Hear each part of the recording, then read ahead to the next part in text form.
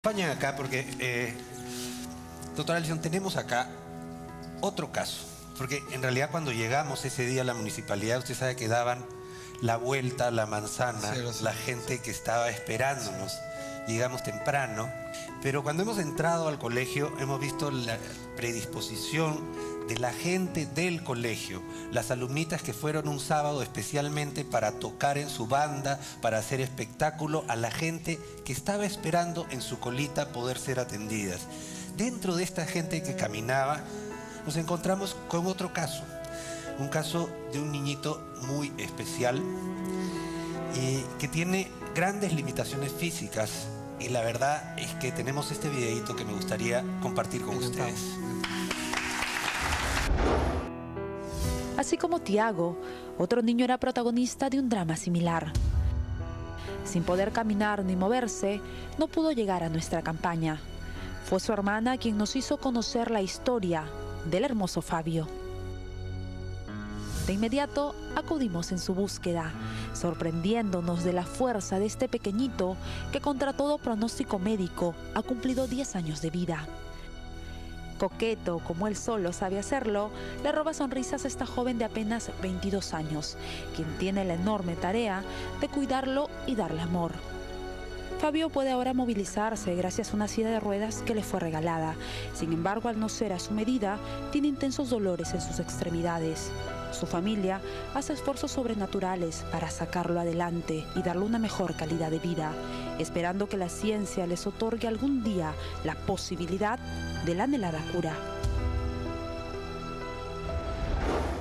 Vemos que está con un montón de almohaditas porque tienes que adaptar su posición, ¿no es cierto? Incluso tiene las almohadas debajo para problema de que se incomode. Se incomoda, se hunde y se mete. Se resbala, como todo niñito quiere patalear, quiere moverse, pero tenemos que adaptarlo porque tenemos que hacer que su mejor mejorar su calidad de vida para que él esté más tranquilo y todo. Perfecto. Yo sé lo que han solicitado en realidad a la producción en ese momento y felizmente tenemos la bondad de mucha gente interesada en ayudar.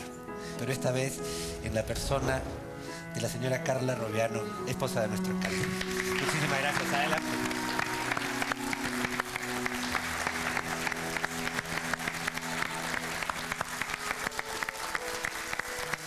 Una lesión cerebral que lo va a acompañar indefectiblemente toda su vida, pero su calidad de vida puede mejorar muchísimo.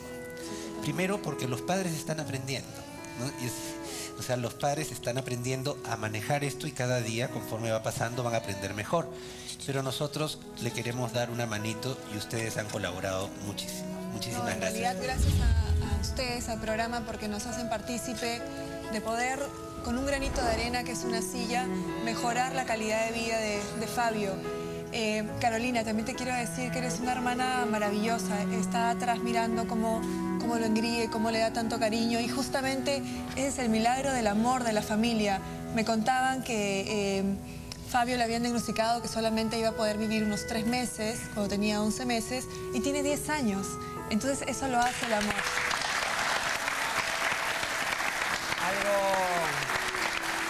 Algo que quiero agregar es que también nos contaron que la familia quería hacer un nuevo diagnóstico, que el primer diagnóstico fue cuando tenía muy poco tiempo de nacido y que querían un nuevo diagnóstico y desde ya eh, decirte que vamos a asumir los gastos de ese nuevo diagnóstico. Uy, qué bueno. Oye, muchísimas gracias porque es verdad.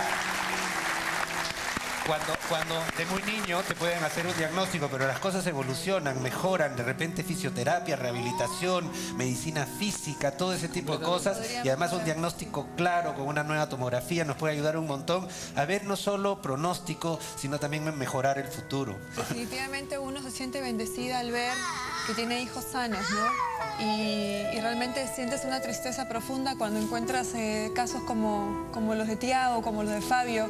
Entonces, ¿cómo no, como ser humano y como, como padres, eh, ayudar un poquito? Es mínimo, en realidad creo que no estamos haciendo mucho, pero espero que esta silla de ruedas te facilite la posibilidad de poder llevarlo a un lugar, porque sé que esta que tiene no se puede desarmar. Hemos tratado de conseguirte la silla que, de alguna forma pueda eh, solucionar algunas Y otra cosa, el grupo humano de la municipalidad que estuvo con nosotros en todo el tiempo de la campaña, realmente se nota que es gente con vocación de servicio, con ganas de ayudar y liderados por ustedes, estoy seguro que van a seguir haciendo una labor social maravillosa. La última vez, ojalá que puedan ir nuevamente a Magdalena. Ojo, ojo, nuestro hermano se está comprometiendo para una siguiente vez, por favor, así que toma nota. Y el agradecimiento al Colegio Grau y a estas chicas extraordinarias, alumnas de ese colegio que son una Sí, se maravilla. portaron con nosotros todas. de colegio con muy Así buena es. infraestructura y con personal que está dispuesto siempre a entregar no solo la mano, sino llegan hasta el codo y al hombro también. Muchísimas gracias. Esta campaña fue una campaña de prevención, de salud, pero como estamos viendo, sobre todo de amor. De amor. Muchísimas gracias. Amigos, regresamos enseguida. Muy amable, gracias.